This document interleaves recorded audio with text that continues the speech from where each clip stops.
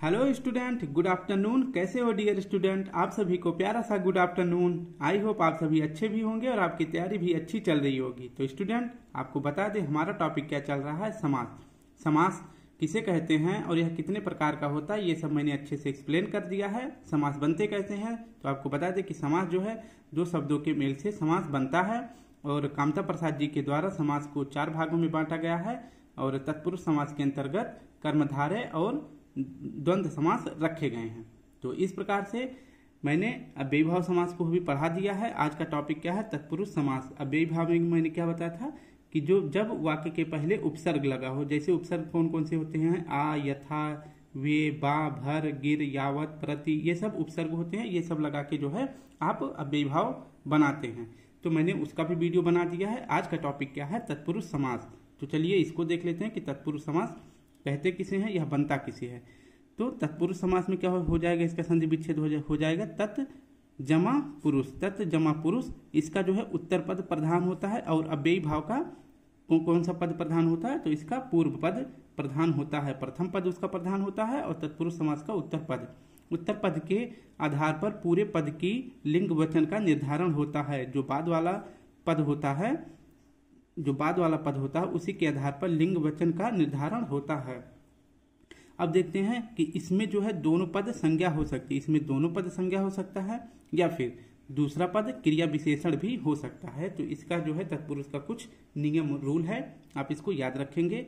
और यह किसके अंतर्गत आता है? यह विधिकरण तत्पुरुष के, यह विधिकरण तत्पुरुष समाज के अंतर्गत आता है। एक बार हम आपको पीछे थोड़ा सा दिखाना चाहते हैं।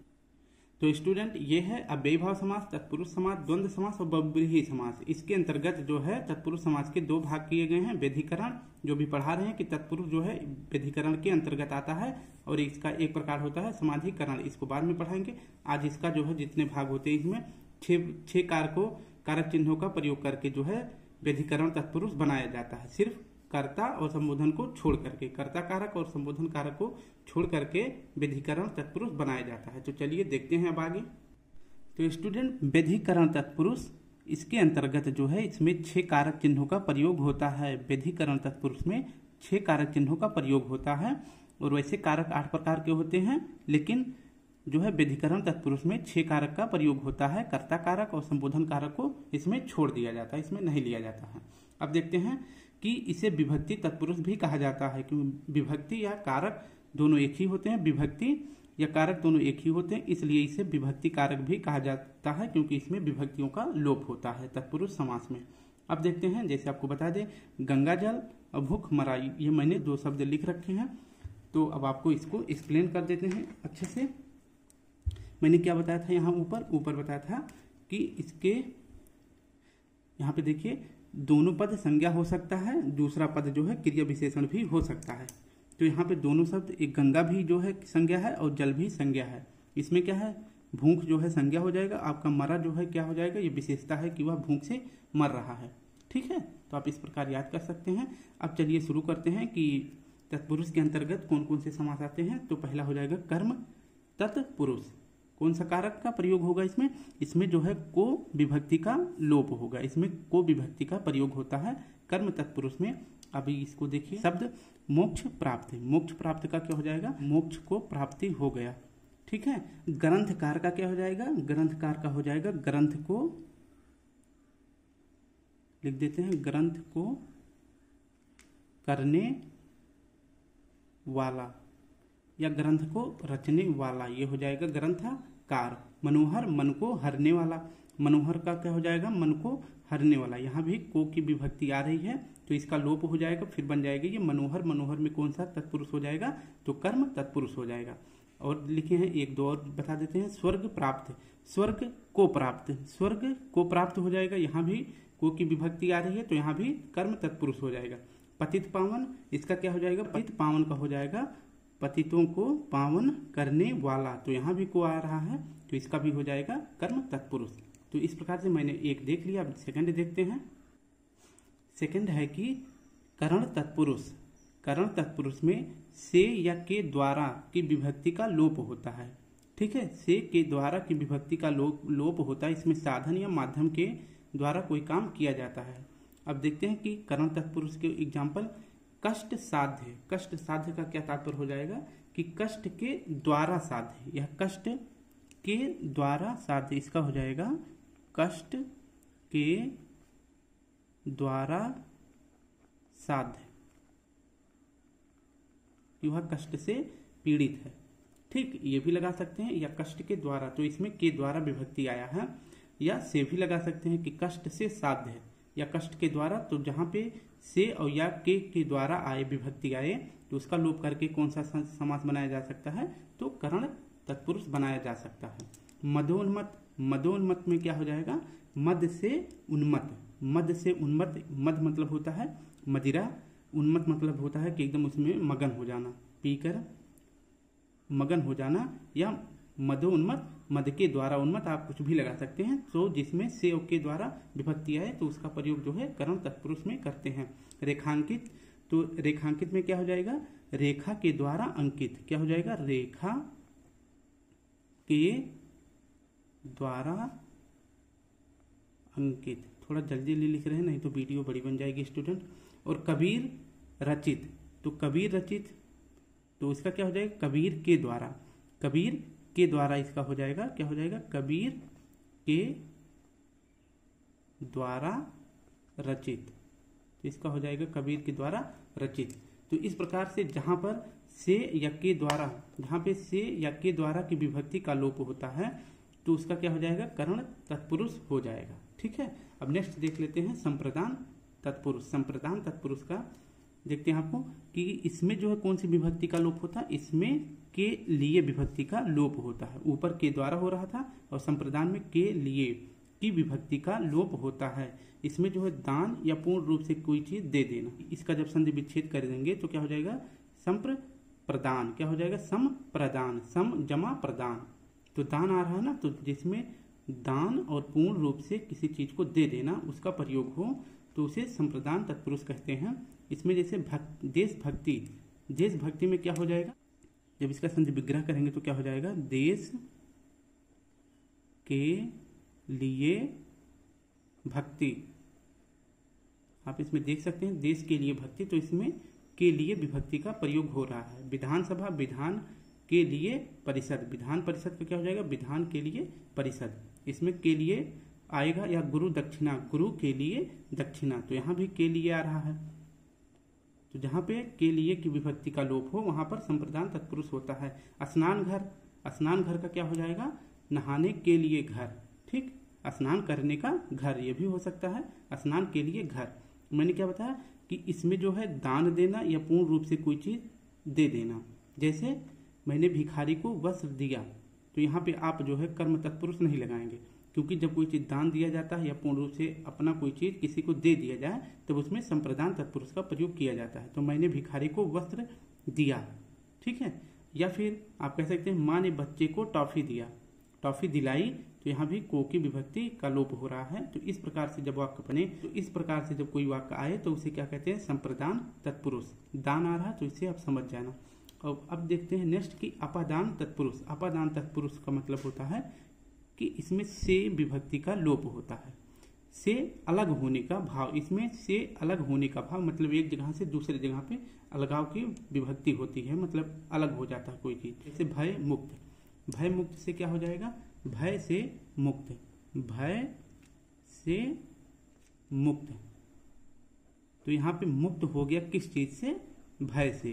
तो यहाँ से देखिए कि वह डर से मुक्त हो गया तो डर उसका अलग हो गया ठीक है, उससे उसका डर अलग हो गया। तो किससे अलग हुआ? विभक्ति से से।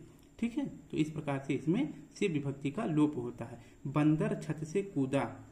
तो आप यहाँ पे देख रहे हैं, बंदर छत से कूदा मतलब वो छत पे था, इसके बाद वो नीचे कूदा या पेड़ पे कूदा, कहीं चला गया, लेकिन वो छत से अलग हो गया। तो अपादान तत्पुरुष कारक यहाँ पे हो जाएगा। इसके बाद दूर आगत दूर आगत का हो जाएगा। दूर से आया। कहा से? दूर से आया। ये हो जाएगा दूर से आया। अब कहाँ से आया? दूर से आया। तो वह दूर था, इसके बाद पास चला आया तो फिर उसमें जो है अलगाव हो गया। तो यहाँ पे से विभक्ति का लोप होता है। तो वहाँ पे क्या हो जाता है? अपादान तत्पुरुष। अब देखते हैं कि जब जब दो लोगों के बीच तुलना की जाए तो वहाँ अपादान तत्पुरुष होता है। किसके बीच? दो लोगों के बीच। ध्यान रखना, दो लोगों के बीच जैसे राम श्याम से सुंदर है, राम श्याम से सुंदर है तो यहाँ पे कौन सा कारक हो जाएगा? अपादान कारक। याद रखना, अब नेक्स्ट देखते हैं। नेक्स्ट समास है कि संबंध तत्पुरुष। संबंध तत्पुरुष में का, की, के, रा, री, रे, ना, नी, ने की विभक्ति का लोप होता है। किसका होता है? का, की, के, रा, री, रे, ना, नी, ने, मा, मी, में ऐसे इस विभक्ति का लोप होता है। अब जैसे आपको लिखा मैंने राष्ट्रपति तो राष्ट्र मतलब देश हो जाएगा, पति मतलब पिता। राष्ट्र का पिता तो इसके लिए क्या विभक्ति लगेगी? राष्ट्र का पिता। राष्ट्र का पिता या राष्ट्र के पिता दोनों हो जाएगा। तो यहाँ पे का विभक्ति का लोप हो रहा है। ठीक है? जैसे राम का, श्याम का, गीता का या फिर राज़ी का जब प्रयोग हुआ तो क्या होगा? मेरी, मेरा, तुम्हारा घर, उसका घर तो इस प्रकार से हो जाएगा। ना का कैसे हो जाता है? चल ना काम कर, चल ना अपना काम कर, ऐसे तो इस प्रकार का विभक्ति का लोप होता है। दीन बंधु, दीन, दीनों का बंधु, दीनों का बंधु या फिर दीन का बंधु, जो दीन दुखी होते हैं, उनका बंधु, दीनों का बंधु। दीनों का बंधु, इसमें का विभक्ति का लोप हो रहा है। शिवालय तो शिव का आलय, क्या हो जाएगा? शिव का आलय। ये हो जाएगा शिव का आलय। ठीक है? याद रखना। तो यहाँ पे और एक होता है, अभी आप बोलेंगे विद्यालय। विद्यालय का क्या हो जाएगा? तो यह विद्यालय है। ठीक है? तो विद्या के लिए आलय है। विद्या के लिए। तो यहाँ पे आप देखिए, मैं लिख दे रहा हूँ, विद्या के लिए, यहाँ पे के लिए आ रहा है। के लिए आलय। आलय मीन्स होता है घर। ठीक है? तो यहाँ पे जो है संबंध तत्पुरुष इसमें नहीं होगा। ठीक है? इसमें जो है संबंध तत्पुरुष नहीं। इसमें हो जाएगा कौन सा? संप्रदान तत्पुरुष। इसमें संप्रदान तत्पुरुष हो जाएगा। इसके बाद क्या है? लोक नायक। लोक नायक का क्या हो जाएगा? लोक का नायक। लोक का नायक। ठीक है? यहाँ पे प्रभु का उल्लेख किया गया है इसका मतलब हो जाएगा लोक का नायक। तो यहाँ पे लोक और नायक के बीच कि, किस विभक्ति का लोप है? का विभक्ति का लोप है। और विद्यालय में यहाँ पे के लिए संप्रदान का प्रयोग किया गया है। ठीक है? इस प्रकार से आप याद रख सकते हैं। आज का लास्ट देखते हैं। अधिकरण तत्पुरुष। अधिकरण में किसका लोप होता है? में और पर का विभक्ति का लोप होता है। किसका? में और पर विभक्ति का लोप होता है। वहाँ पे कौन सा? अधिकरण तत्पुरुष हो जाता है। अब जैसे शिला लेख शिला लेख है तो इसका क्या हो जाएगा? शिला पर लेख, ठीक है? क्या हो जाएगा? शिला पर लेख, यानी कि जो पत्थर पे लेख लिखा रहता है, जब कोई सड़क या कुछ चीज़ का उद्घाटन करते हैं तो उस पर लिखा जाता है ना, अपना नाम वाम लिखवाते हैं, मंत्री वगैरह। तो उस पर हो जाएगा कि उसमें जो पत्थर पर लिखा गया, पत्थर पर लिखा गया है। या पत्थर में लिखा गया, में, पत्थर को छेद कर लिखा जाता है तो इसमें में या पर विभक्ति का लोप होता है। सरणागत सरणागत का हो जाएगा शरण में शरण में आगत। शरण में आगत की कोई चीज़, कोई आदमी है, दिन दुखी है, वह किसी गुरु या महात्मा के शरण में चला जाए तो उसी को बोलते हैं, या फिर कोई भिक्षा लेने या फिर कोई दीक्षा लेने चला जाए तो उसी को बोलते हैं कि वह मेरे शरण में आया मैं विभक्ति का लोप हो जाए तो वहाँ पे अधिकरण तत्पुरुष हो जाता है। कवि श्रेष्ठ, कवियों में श्रेष्ठ। कवि श्रेष्ठ का क्या हो जाएगा? कवियों में कवियों में श्रेष्ठ। ठीक है? तो ये हो जाएगा कवियों में श्रेष्ठ। आप बीती, आप पर बीती। आप बीती का क्या हो जाएगा? आप पर बीती। ठीक है? मुझ पर नहीं, आप पर बीती। तो यहाँ पे पर में विभक्ति का लोप हो तो उसे अधिकरण तत्पुरुष कहते हैं। और मैंने क्या बताया था? वहाँ पे क्या बताया था? उस अपादान तत्पुरुष में क्या बताया था कि दो लोगों के बीच तुलना हो तो वहाँ पे अपादान तत्पुरुष होता है, लेकिन जब दो से अधिक, देखो, जब दो से अधिक व्यक्तियों के बीच तुलना हो तो वहाँ पे अधिकरण तत्पुरुष होता है। जैसे कि मैं कक्षा में सबसे सुंदर हूँ, ठीक है? मैं कक्षा में सबसे सुंदर हूँ तो यहाँ पे अधिकरण तत्पुरुष हो जाएगा। श्याम कक्षा में सबसे सुंदर है, अधिकरण तत्पुरुष। और इसके बाद अगर दो में हो, श्याम गीता से अधिक सुंदर है तो कौन सा हो जाएगा? अपादान तत्पुरुष। तो स्टूडेंट इस प्रकार से हमारा जो है तत्पुरुष समाज के जितने भी भेद है, हमने पढ़ लिया। कल जो है नेक्स्ट टॉपिक लेके आएँगे। आज के लिए आप सभी को प्यारा सा जय हिंद, जय भारत। एक बार प्लीज़ वीडियो ज़रूर लाइक करें। फिर मिलते हैं कल। Bye bye take care